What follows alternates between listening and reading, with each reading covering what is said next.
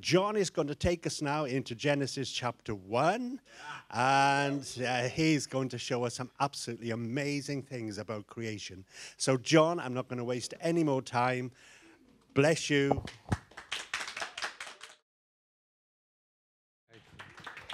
Okay, good morning, everybody. it's good to see you all. Are you happy to be here? Okay, I'll assure you, you're not here by coincidence. Okay, you are here. God planned it that way for sure. First of all, thank you very much for letting me share with you this thing that I'm very passionate about. I've been studying creation, creation evolution now for many years. I've spent thousands of hours. I am not exaggerating. I've spent thousands of hours into this subject. And I can honestly tell you that the more I've, I learn, the more I realize there is to learn and I've only scratched the surface. I'm not kidding you. Uh, this is absolutely mind blowing. The Bible truly is true when somebody said here, the Bible is shallow enough for even a baby to come across and drink without drowning, and yet it's deep enough for a theologian or even a scientist to go swimming into without reaching the bottom. Yeah. It's absolutely true. We're going to find out some of those things. Well, today I'm talking about creation and the Garden of Eden as usual, I'm very excited about talking about this subject. so I went to my father and I said, Dad, you know, I'm very excited. I'm talking about creation and the Garden of Eden in church. And he said, Great, that shouldn't take more than five minutes. it's true, he said that. He said, No more five minutes. He said, What is there to say? All you got to say is really good. That's all you got to do. My father doesn't know me very well, bless him. And he said, Anyway, how would you know? And I said, It's easy. I asked David Allen. He was probably there. But that I don't see David Allen here today, but if he was here, it would have been funnier.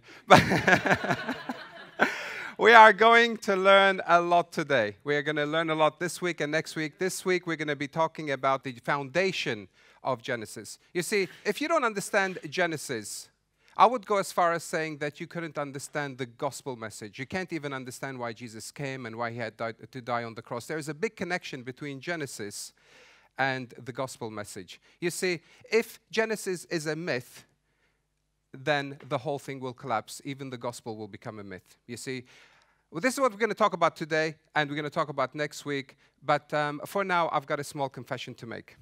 You see, I don't believe that God created the world in seven days. Ooh. You see, that's because he didn't. He created it in six days. that's right. He created it in six days. I believe that he created in six literal 24 hour days. So we're going to talk about that a little bit today. I've got another confession to make. You see, I believe when God said it, I believe it, and that should settle it. In fact, I even bought a t shirt there it is. It's right there. It is absolutely right. I've got the t shirt that says exactly that. I believe that the Bible is the infallible, inerrant, inspired word of the living God. If you haven't got this by now, you should have been here for the last six weeks when Ken has been trying to teach you this. Okay? This is absolutely true. Okay, so I thought to myself, where do I start? Where do I start? So I thought the good place to start will be with the first book, the first chapter, the first verse. In the beginning, God created the heavens, the heaven and the earth. You see, you'll get people who will tell you, well, if God created the world, how come the world is so messed up? And it's true. The world is totally messed up. There's a lot of suffering, there's a lot of pain out there. Please don't argue with people who tell you that. It is very true. You see, that's because God didn't create this world. God created a world much better than this one, and we completely wrecked it. It's rather like going to a car manufacturer and saying to Lamborghini, Why did you design a car like that? Okay? It's not true. That's not what they designed. Yeah. This is what they designed, a car like that. This is Gareth's car. Thank you for letting me take a picture of your car, Gareth. it's definitely not my car. You see, the world we live in today is a complete wreck. It's like a scrapyard, really. It's a scrapyard. It is completely incomparable with God, what God did. God created a perfect world, and we completely broke it. So, how did God create it all? This is what God created. Um, there are a few questions I'm going to ask this week. I'm going to raise this week, and I'm going to answer them between this week and next week. So, here comes the first question When was it? We all want to know when was the Garden of Eden? Okay, so today we're going to talk about the Garden of Eden. When was it? When did it happen? How long ago did it? How long did it last? Next question: Where was it? Where was the Garden of Eden? And what did they eat? You know, it's very significant to know what they actually ate. And then the next thing we're going to look at is how was the Garden of Eden? Now, this last one is a pretty big one. How was the Garden of Eden is a very big one, and I'm going to answer it next week. For this week, I'm going to keep it nice and light to break you in slowly. And then next week, do come prepared. Please invite people next week. This is going to be amazing. Uh, Christians or non Christians, invite your friends. It will work for everybody. Okay. You see, if the Bible is true, then how come people lived for over 900 years? You see, the average age was 912, over 912, and today's worldwide average age is actually less than 69 years. It's quite fascinating. You see, these some people say, um, well, they couldn't have lived that long. This is what they're, they're going to come out. They say these are not literal years. They couldn't live that long. So obviously, these are not years. These are months. You see, Bible, the Bible is using simple language. These are months. So all you've got to do is come along and divide all these numbers by 12. And then without the Bible telling you whatsoever, the figure you come up with, that's the figure apparently that it really is. And that's supposed to be simple language. Why can't I just take these numbers the way they are? You see, if I can trust God with numbers in Genesis, why should I trust God with numbers anywhere else in the Bible? Is that right? So, okay, let's work with that logic. Let's work with the logic that God is actually working with dividing by 12, because that's what some people say. These are months, not years. So let's work on that. So, in that case, Seth was just under eight and a half years old when he had Enos. That is a very good trick. That is very, very good. And of course, Enoch did much better than that. He was just over five and a half years old when he had Methuselah.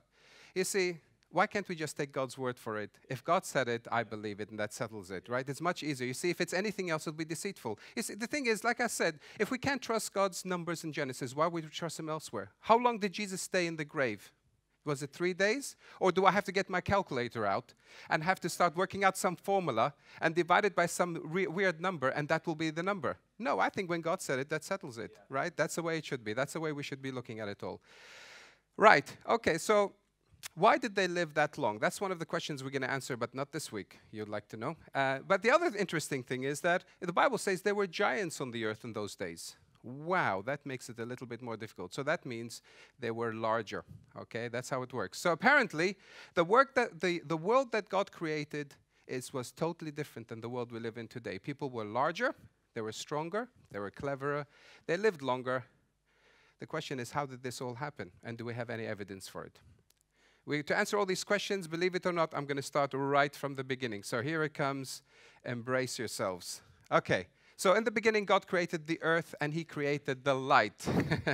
I'm going to take you, and He called it good. That's important. Then He divided. Number, day number two, He divided the waters above from the waters below. What on earth does that mean? We're going to cover that next time. Um, and then He um, the, He divided the waters from the land, and He created land, grass, plants, fruit bearing trees, and so on. He created that. On day four, he created the sun, moon, and stars, and he also called it good. Okay, again, as I said, this is going to be very significant that he called it good for later on as we go through this. Then on day five, he created the sea creatures. That will be like fish. Then he created the, the animals that fly, that would be like birds. And then the next day, which is day six, he created all the animals, the bugs, the birds, sorry, the bugs, the insects, all land animals, including dinosaurs, believe it or not. Now, that he also mentioned was very, very good. Of course, Adam and Eve were created on that day too. And then comes along day seven when he looked, God looked at creation, he blessed it, and then he rested. Day seven, day, day of rest. Then the fall of man, which I believe Nick is going to talk about after when I finish. And then we've come along with the global flood. And then we talk about the Tower of Babel. Tower of Babel is where all the languages got confused and different languages came into it. This is a summary of Genesis 1 to 11, ladies and gentlemen. So we're going to be looking at that in just a minute. I could do a talk and have done a talk of one hour on each one of those days. That's a lot of time, right? But you'll be pleased to know we're not going to do that with you guys. There's going to be much more mercy on you guys. okay, so we're going to answer the first question. We're going to go through this fairly quickly because I'm on schedule. When did it all happen? So here we go. Let's answer this first question. I'm going to take you through the sequence of day six, so pay attention. This is important. First, he made the animals. Then he made Adam. Then he made the Garden of Eden. Then from the rib of Adam, God made Eve. A couple of things to notice. Here's the sequence animals, Adam, Eden, Eve. That's very important. All right? So that's important to notice. The next thing you need to notice really is that Adam was created outside the Garden of Eden. I thought that's interesting for me to know. And then uh, he made Eve inside the Garden of Eden. You see, there we go. And then he put, Ad- he put Adam in the Garden of Eden. Then he made Eden, Eve. Try it again. I'm going to get my words right. Then he got even, even Eden. even Eden, Eve. Okay. And then he created Eve inside the garden, all flowery and very nice indeed. So you see, here's a very interesting thing. Did you know that all bones can actually repair themselves, but only the rib cage bones can actually regenerate themselves? Okay, that's a very fascinating fact. Okay, so here's a, here's a fact. So Adam never had to walk around without a rib because there is a membrane. If you keep the membrane or the tissue around the rib cage and you take out the bone, then the bone would regenerate itself. It's called periosteum. That, that membrane, if it remains there, so he never walked around without it, with a, with a uh, missing rib. This is actually what really happened. Let me tell you what happened. God went to Adam and he said, Adam, look, I've got you all these animals, and none of them are suitable as a helper to you. So what I'm going to do, I'm, create, I'm going to create you this amazing woman. She's going to be beautiful. She's going to be kind. She's going to cook, iron, clean, never complain, never argue. First to apologize, never nag, and always be happy. And Adam said, Wow, that's amazing. How much is this going to cost me? And God said, It's going to cost you an arm and a leg. And he said, Oh, okay. What can I get for just a rib? And the rest is history.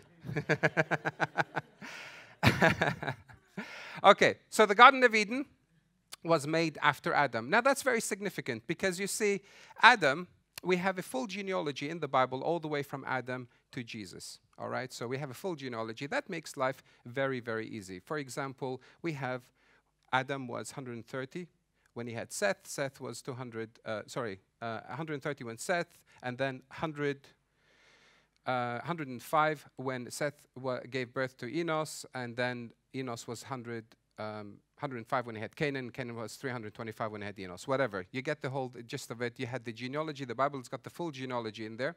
And from that, you can work out the dates. So that's very, very convenient. Now, I tried to do this several years ago. And these are my notes and I put them all together and I was going to work it out. There's no problem. You know, it's, it's not, it's a little bit difficult because you have to go through the entire Bible and make notes and dates, but it is totally possible. It just turns out I'm not the only madman who does these things. It turned out that somebody else about 400 years before me tried that very same thing. He, he spent his entire life, that's about 400 years ago, that's about the 17th century. His name is Archbishop James Ussher. And he spent, he dedicated his life to work out those dates, and he came out with a date. And he said that um, Adam was created 4004 BC on the 23rd of October. Now that's pretty accurate. That is absolutely amazing, right? And if you thought that's amazing, he actually worked out the time. It was at 9 a.m. I thought that's fascinating. You see, I'm, I'm sold by the idea of 4,000 years ago, but uh, Adam at 9 a.m., not, I'm not sure because we all know that Adam was created before Eve. Okay. Look, that's as good as it gets. Okay? My jokes are not that fantastic, so make the most of it. All right? So try your best to, uh, to make this work. But wait a minute. Isn't the world supposed to be billions of years old? Okay, so there are some people who actually say the world is billions of years old. Now, if you're a Christian here and you believe the world is billions of years old, you really need to read some more. You need to spend a lot of time reading. You need to read a lot of books. Uh, you need to read the Bible okay, you will notice that it doesn't talk about billions of years old. But if you are one of those Christians, I'm going to give you some help. You cannot fit it after Adam. Because after Adam, we have a genealogy list, and, and that's a done deal. Okay, so we know exactly the dates. You can't do anything with that. You have to fit it in between days one and five. Now, if you are one of those people who's doing, who are doing that, or who's doing that, then you have to believe in one of those theories that people have thought of before you. Okay, these are the theories that came up with. We don't have time to go through all this, but if you're interested, um, I'm going to give you some help later on where you can get some information on, from. But basically, the idea is that you fit millions of years between days one and five. There's some more information you can get from these books. You can get them from Creation Science Ministries. I've got some other books over here you can see later on and have a look at. I brought those with me for you to look at. So it is very fascinating fact. You know that there are many scientists who don't believe the world is billions of years old. Many, many scientists.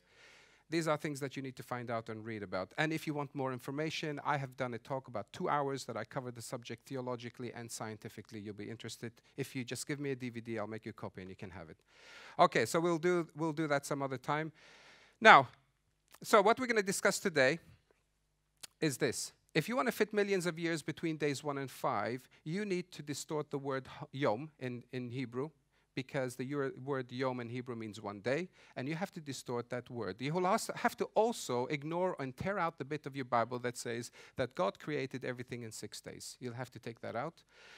You see, supposedly, everything is a 24 hour period, but if it isn't, what were the Israelites supposed to do? Were they supposed to work for six million years and then take a day off? Is that how it was supposed to be? Because that's what God said. You rest on the seventh day. I tried that on on, on Alistair, and it, it's not working.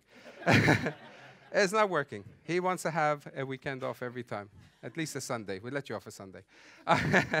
so I don't think so. I think these were a literal 24-hour period, not millions of years. Now, if there are millions of years between those days, then you have to say that the trees were millions of years before the sun. Now, tree, trees and plants can last a day or so before the sun but they won't last millions of years before the sun. So that could be a problem. And also, it'll have to be millions of years before the insects and bugs that pollinate them. So if you believe in millions of years, you've got to be able to answer some of those questions. The other thing that you have to uh, sort of get your head around is that if there was millions of years, then there would have been a civilization between days one and five, a whole civilization that the Bible didn't tell us about, whole living things. Is that supposed to be simple language that we don't know about? Now, there you go, between one days one and five, that's where you fit in your civilization that you're supposed to fit in with the billions of years. And if that's the case, then Adam and Eve's, Adam and Eve were celebrating the Garden of Eden over dead fossils because there would have been graveyards, there would have been loads of deaths before them. Therefore, there would have been loads of fossils underneath the Garden of Eden.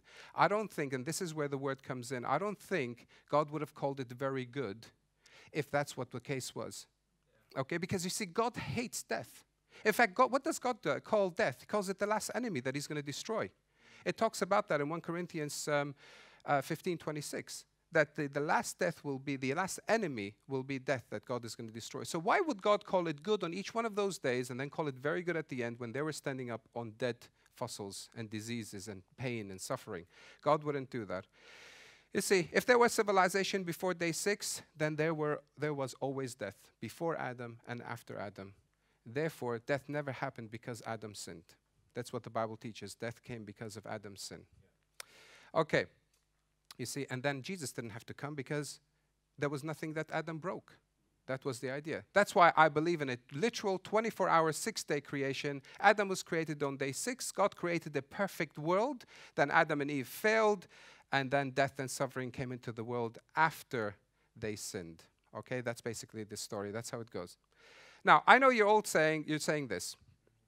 If God called it good on day 7, then surely it wouldn't be that good if there was a, the devil walking around deceiving everybody.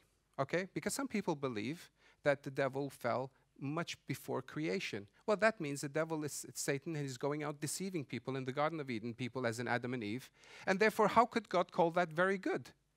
It can't be very good if the devil was walking around. Well, let's see what the Bible says. I'm going to take you through that very quickly. In Ezekiel 28 12 to 15, it, say, it clearly says that Satan was perfect in his ways. Everybody's okay with that. We understand that Satan was perfect in his ways. Next thing is, he was in the Garden of Eden. Therefore, when God pronounced it very good, he hadn't fallen by then because he was in the Garden of Eden and God said he was perfect at that time. So Satan hadn't fallen, hadn't sinned by then. And then here's the next one. He was the anointed cherub. Now, this is a study I've been trying to do for some time, talking about angelology, the study of angels. I'm going to go through this very quickly, so in case you're interested.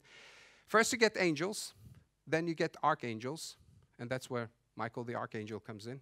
Then you get seraphs, that's seraphim, if you want to take the Hebrew version of that. I am in Hebrew means in plural. Some Bible translations go seraphims to emphasize the plurality of it.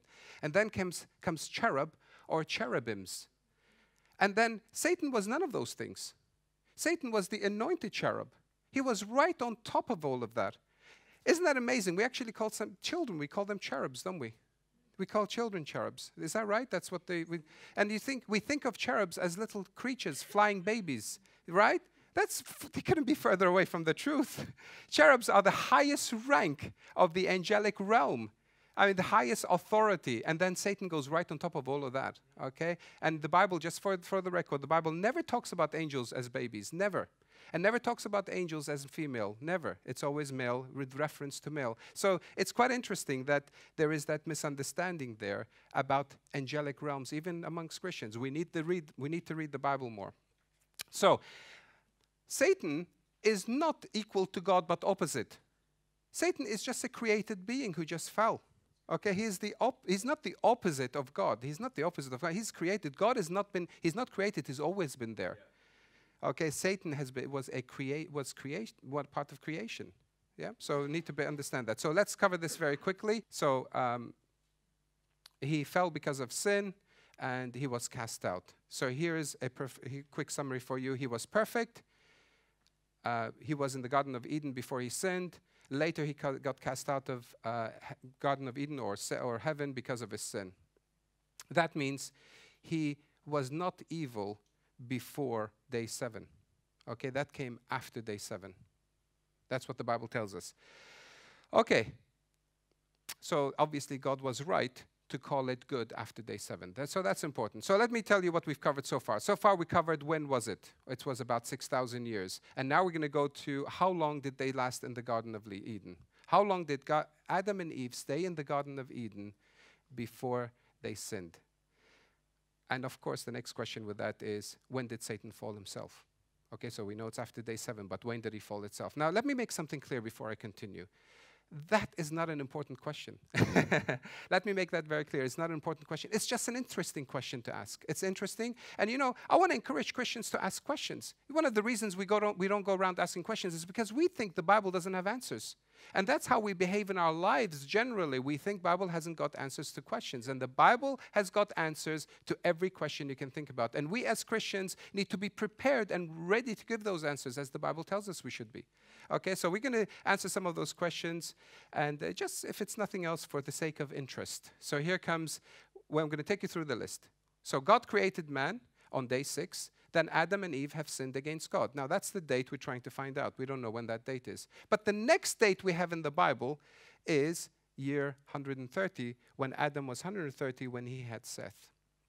So that's the next date we had in the Bible. So clearly, that would have happened outside the Garden of Eden because Cain and Abel came before Seth, and Cain killed Abel. Was there death in the Garden of Eden?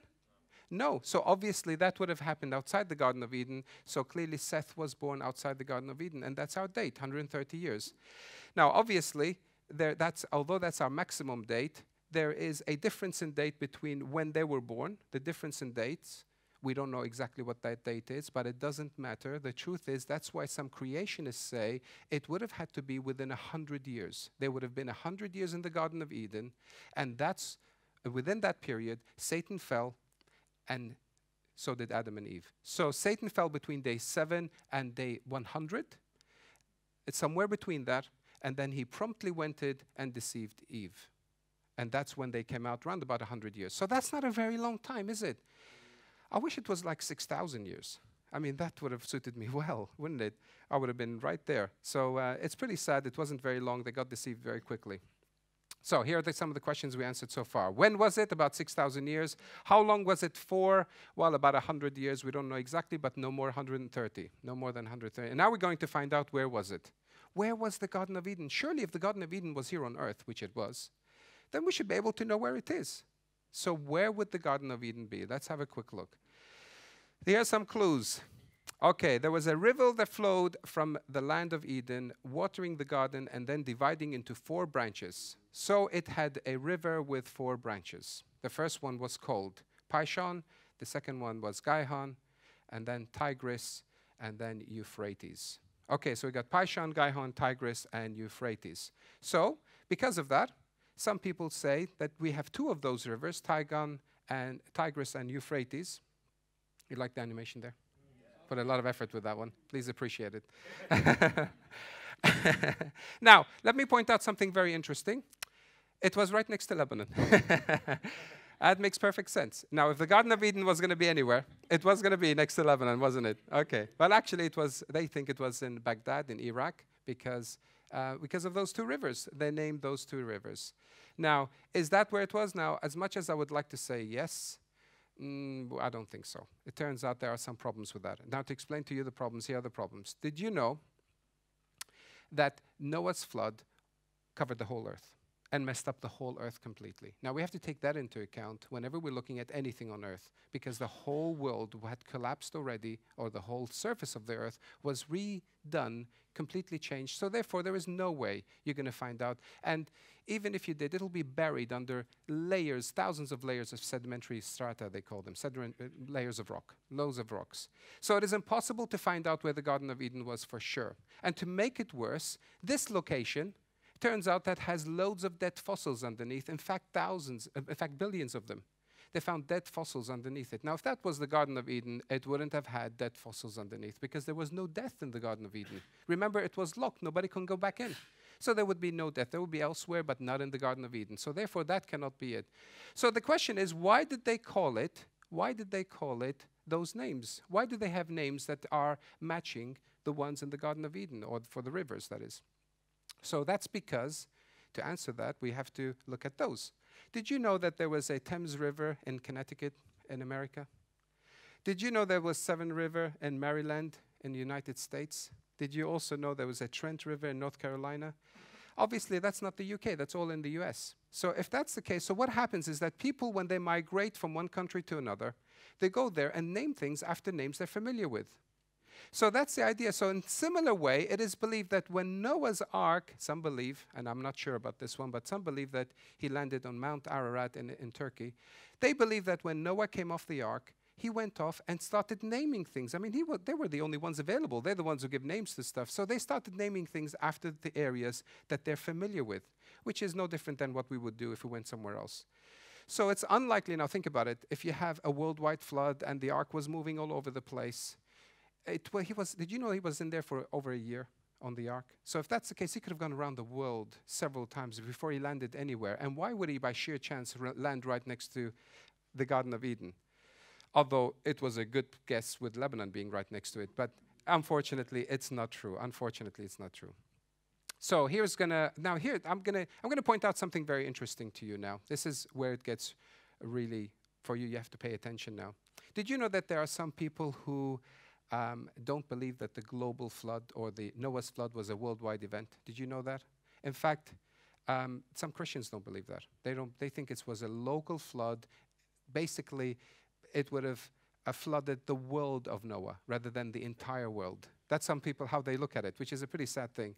Now, I don't have time to explain all of this to you, but I'm going to leave you with some thoughts to take with you just very quickly. If it was a local flood, why was the ark so big?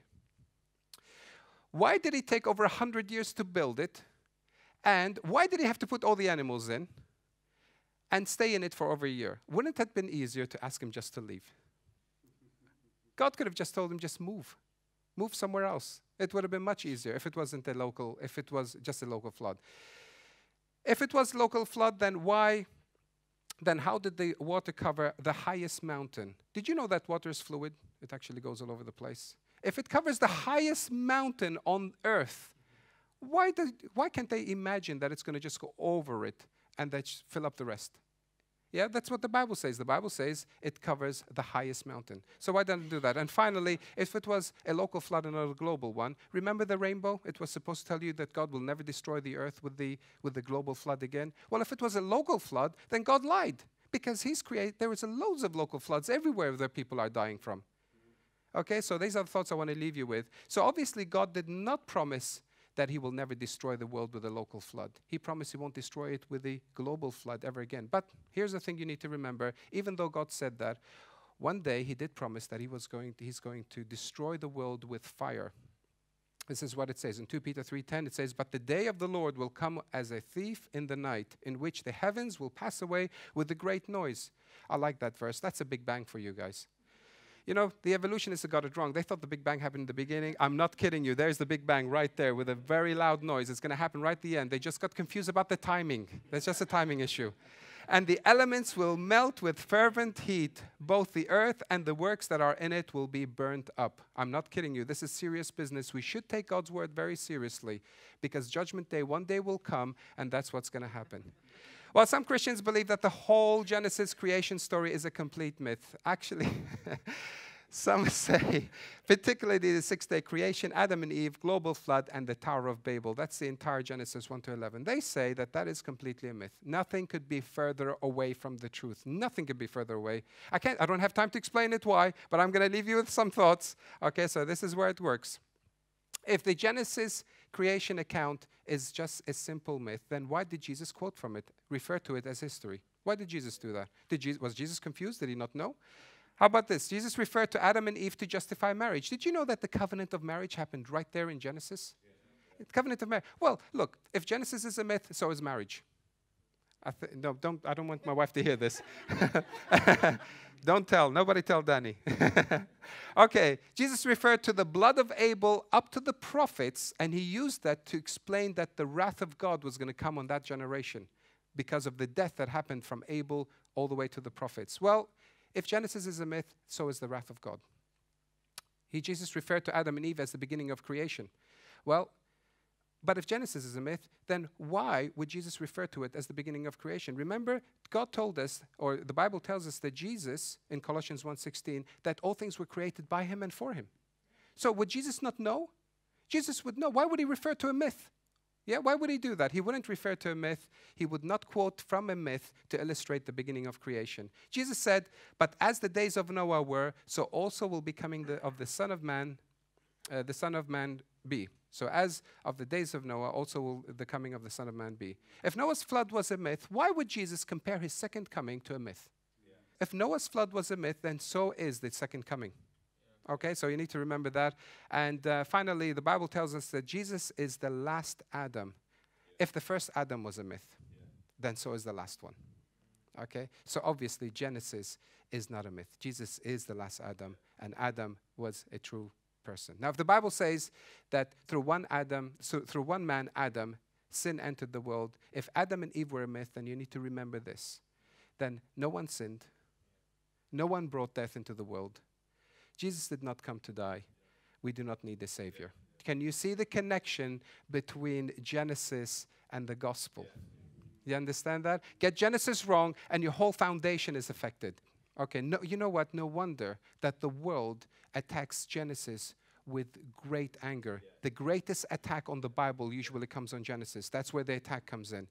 No one has got problems with loving your neighbors. No one has got a problem with saying that, you know, love, peace, joy, kindness. Nobody has a problem with that. Nobody has a problem with saying that love your neighbors as yourself or treat others as you treat yourself. But when it comes to Genesis, oh no. The entire world, including some Christians, yeah. shoot at Genesis. Yeah. Because you see, Genesis is the foundation of Christianity. Destroy the foundation, and there is no authority. Yeah. No authority left. You see, the authority of God lies within Genesis, the beginning, where the beginning is. You get rid of Genesis, and you can't defend the rest of the Bible. If Genesis is a myth, then so is the rest of the Bible. So, this is where our foundation is. You see, Genesis doesn't just tell us how things happen, it also tells us why they happened. You see, that's very important, doesn't it? Genesis is not just a story, it's history. It's a historic event. But it's not just that, it's His story. Yes. It tells us the beginning of creation, how God created everything, how God created the whole universe. So, we answered so far. When was it? About 6,000 years. How long ago? It was about, how long did they last in the Garden of Eden? About 100 years. Where was it? We don't know, except very close to Lebanon. Uh, we also briefly discussed the foundation of Genesis. Now I'm going to tell you what they ate. And after that, we're going to close. We're going to tell you what they ate. Believe it or not, the Bible tells us Adam and Eve's diet. Did you know that? It's incredible. The Bible tells us everything. In fact, God Himself told Adam on day six, God Himself said this See, I have given you every herb that yields seed, which is on the face of the earth, and every tree whose fruit yields seed, to you it shall be for food. So, see, you see, there is no killing in the Garden of Eden. And if you had to eat something, it couldn't have been an animal because you would then have to kill it, wouldn't you? That's why that's what the Bible tells us. We eat, we eat fruit, seeds, and vegetables. That's what the diet was. It was absolutely incredible. There was no killing of animal. But you see, after the flood, everything changed, and God Himself said this. Every moving thing that, that, uh, that lives shall be food for you. I have given you all things, even as the green herbs. So apparently, we were all vegetarians up to the point where the garden, where the, the flood just came and went. Okay, now what about the animals? What did the animals eat?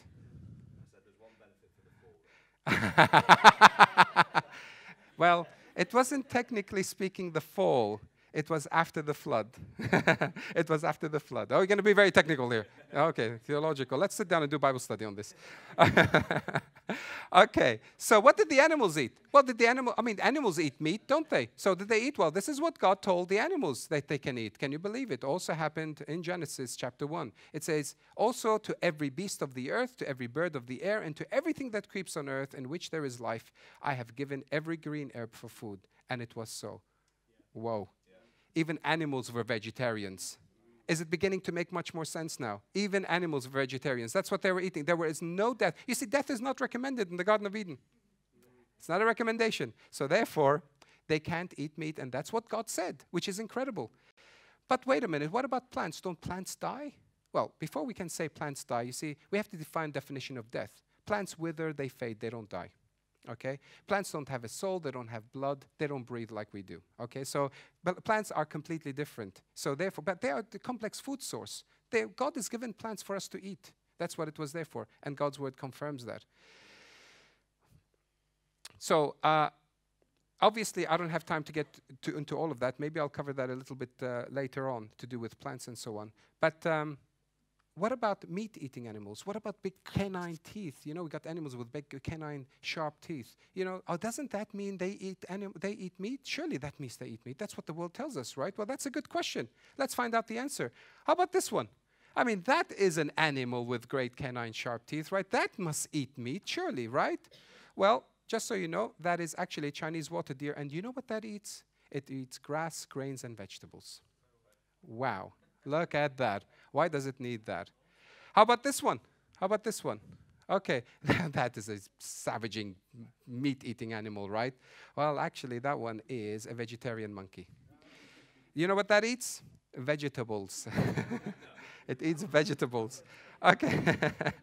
what about this one? Surely this one eats meat, right? No, it's a fruit bat. It eats fruits. How about this one? This is a howler monkey. It eats leaves, fruits, buds, flowers, and nuts. Now look at that canine teeth. now here's the thing. Why would an animal like that need to have canine sharp long teeth? Why would it need that? Well, that's because some seeds are really tough to get into. You know, you need to have sharp long teeth to get into some of these. They come in extremely handy. What about this one? This one obviously is a savaging animal. Uh, very sharp, long teeth. Uh, turned out to be a panda, and it eats uh, bamboos, leaves, fruit, berries, small roots. Okay, what about gorillas, horses, chimps, and hippos? They all have sharp, long canine teeth. They're all plant eaters. Okay, they all eat plants. And look at this one here. This one been listening to one of my talks.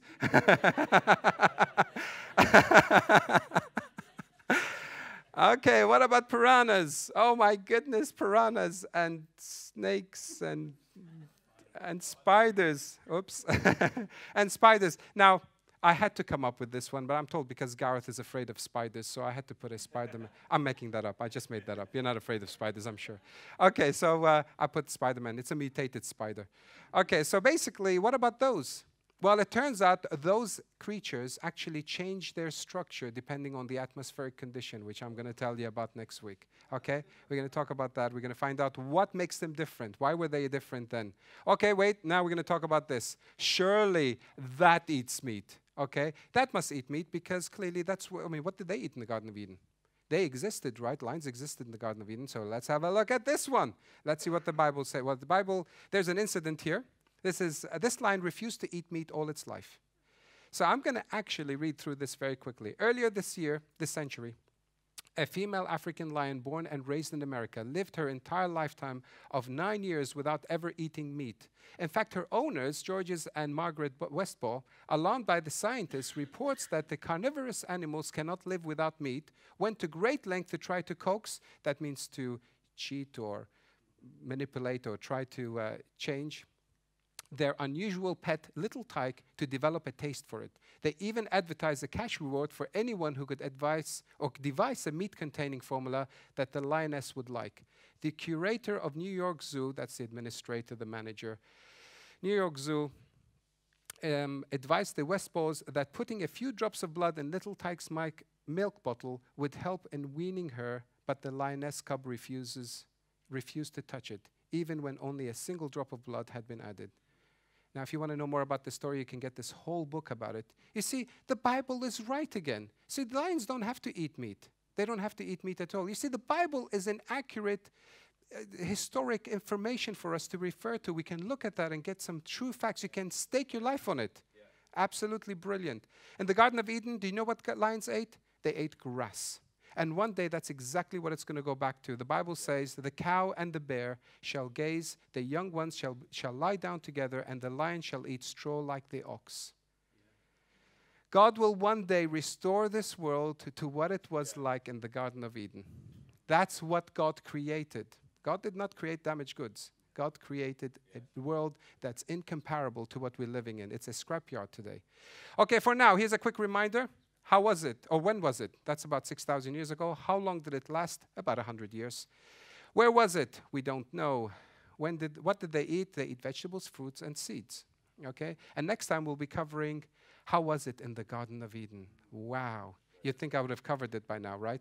But the world was completely different, and I'm going to discuss that. We're going to talk about each one of those days. What did God do in each one of those days that made the world different?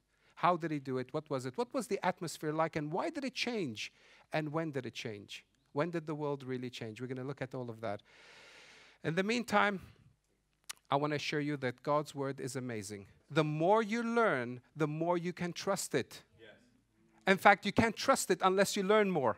Okay, that's how it works. You need to learn more. And for now, I'm going to encourage you. I want to say that if God said it, you should believe it, and that should settle it. Thank you very much for listening. God bless you. Thank you.